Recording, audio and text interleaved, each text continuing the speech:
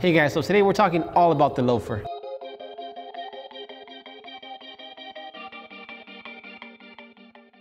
So in a few of our previous videos, we mentioned different types of loafers as an essential for those certain occasions. So our spring essentials had some tassel loafers, some penny loafers, some drivers, which are all considered loafers. And today we're just kind of break it down and kind of give you a sense of what outfit is meant to be worn with each of them and how to pair them with an outfit. So basically, your loafer is kind of like the most casual of the dress shoes until you get up to like a velvet opera pump, which is Yeah, which is meant to super. be worn with a tuxedo and super, super tux, pink- tuxed up. Pinky up. Yeah, this uh, loafer is really spring, summer, like casual chic. Exactly, except for the velvet ones. Yeah. So if they're velvet, you're wearing them with a tux. If they're any other material, you can pretty much get away with jeans, shorts, and a suit. Okay, so we're, we're getting started first with a leather loafer.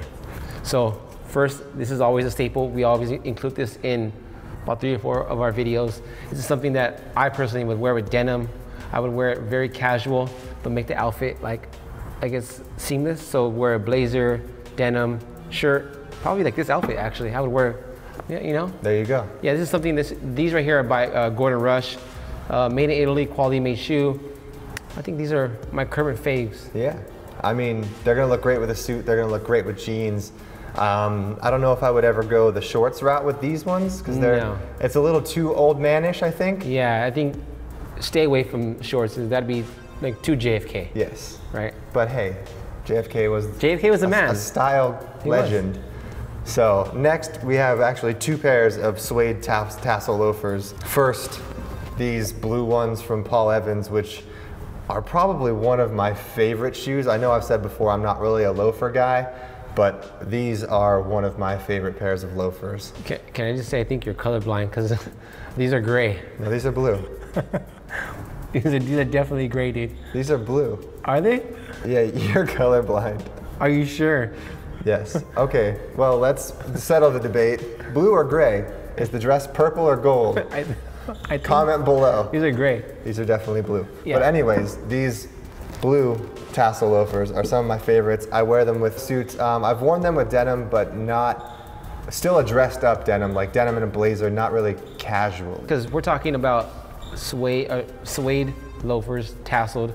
You would think they're both the same type of shoe, but they're very, very different. I think these are more dressed up, Right. more classy. I think these are definitely like I could rock with shorts, Right. really laid back, Jeans and a t-shirt. jeans and a t-shirt. I actually, you know, recently rocked them with jeans and t-shirt, and you know, it's almost like a sneaker. This is like your sneaker of the loafer, kind of. Because Right. we, we have one coming up that's super sneaker. But I think I think it's the stitching around here, like the contrast stitching, that makes it a little more youthful, a little more casual, That's right. not so dressed up, but still killing it in a suit. You know? No, yeah, yeah, definitely. I mean, I you could wear a more relaxed suit than I think you could wear with these gray ones. Yeah. But um, yeah, either way, you need to have a suede loafer. Yes, that's probably actually in my book the first loafer I would buy because I already have you know leather dress shoes. If I'm gonna go loafer, I'm gonna go a little outside the box, and I would go suede first. Yeah, yeah. Um, my first loafer was also suede. It was actually these. I've had these for four years now. Where are four those from? years. Just the Man shoe. So these right here are, you know, look them up. Just the Men. They'll range you anywhere from 80 to uh, about 120, and that's on the higher end. Check them out, dude. These are four years old. I've taken them all over the world. Up next, probably the actual sneaker of the loafers. that's right, that's right. Um, a driver. Like this is gonna replace your running errands sneaker. Like once you get a little older, you know, you need to graduate from that pair of pair of Vans or Chuck Taylors and run to the grocery store and some drivers. Yeah, yeah. I mean, I call these a, like a dad staple. Every dad has to have at least one pair of these drivers. Yes, and honestly, before probably two or three years ago, I absolutely hated the way these looked. like, could not stand drivers. I thought they were like they looked terrible. Um, I didn't understand what these dots on the back for, but obviously because they're called drivers, so they don't dirty the back of the suede shoes that you're wearing. that's right, yeah. So it makes a lot of sense. It's very functional, and once you put a pair on, you'll realize how freaking comfortable they are. So I'm converted. Yeah, I mean, I mean, they have a cool, they have a cool history with them. You know, normally, back when these were invented, they weren't used out in the street. They were specifically used for the car. So they wouldn't leave the car. You would go in with your leather loafers, take them off, put on your drivers, drive home. After you got off, you would put back on your leather loafers and leave those in the car. So they were aptly named The drivers. the driver. The driver, yeah. So when you got a boat shoe, what do you think those are for? Hmm. People who name shoes get very creative, obviously. They do, they so do. loafers, when you're just loafing around. Yeah, I mean, so we have, we have, we have a leather loafer, suede loafer, the driver, and we also have, And this is kind of like a hybrid, I guess, of like a leather loafer. You know, you sometimes you they have like a horse bit or some sort of metal closure Yeah. up here, which gives them a little bit of high class. But these ones have a rubber sole, so you got that grip, like a little bit of a boat shoe vibe. so right away I thought they were boat shoes, but they're not. They're, they're like a, a driver without the actual little balls. Right. These are cool, dude. These are really cool. This is a driver with no balls. so, oh, um, but anyway, yeah, these are.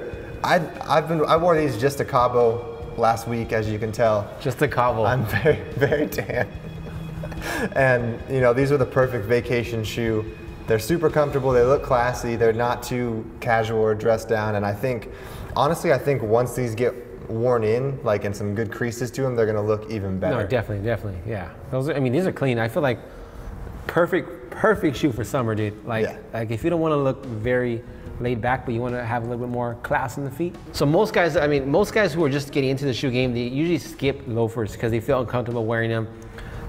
I recommend you at least have one pair of loafer. You know, if, if, if I could do one pair, I think of the shoes here, I would choose these because they're mo- the most versatile. When you do wear loafers, most people won't wear socks. We recommend wearing no-show socks. That'll preserve your shoe. Yet again, No-show socks. George advocates no-show socks. He wears them all the time.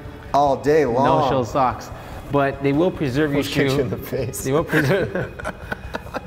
but no-show socks will real pre- preserve your shoe. I've worn them every single time the past four years for these and these. So yeah. Yes. No-show socks. And last but not least, I have a surprise. What? Oh wow. Close your eyes. My eyes are closed. Can I open them now? No, you can't open them. You better not be your dick in the box. Don't open them. I need to sit. Need to sit down for a second. Oh, there's so much shit in here.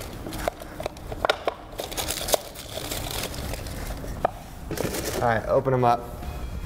Whoa! Swims. What do you think? I like swims. Big fan?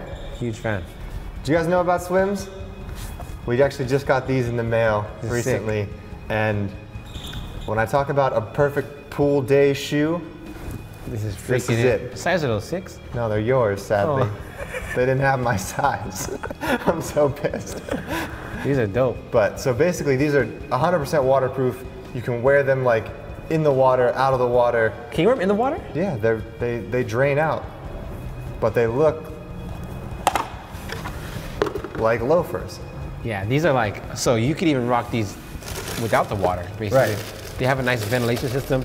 To me, there's no other loafer like a Swims loafer. They're they've been they've had this technology for quite some time, and nobody's even come close to doing what they're doing. I didn't even know he was bringing these, and I already know about them because they're like freaking awesome, They're the only ones that look like cool. like real loafers. Yeah, yeah, I know. Like I Everything can, else looks a little too like kid I mean, this is a total boat shoe. I mean, this is a total loafer. Total, you know. Anytime you want to wear a loafer, fucking wear these, dude. Com- Actually, I'm curious. Comment below if you guys would wear these, Hell yeah. like, because I'm I'm a huge fan of them, and I think they look super cool for, you know, being a waterproof. It's essentially a water shoe, No, yeah. So but it's dope. badass. So that wraps up our video on loafers. You know, leather loafers, suede tassel loafers, horse bit loafers, drivers, swims. Check them all out. We'll have links to them down below. Um, comment below which ones you would rock or which ones you guys already own, and uh, let us know what videos you got, guys. mm, Let us know what videos you guys want to see next in the comments, and don't forget to subscribe. Thanks, Thanks, guys. guys.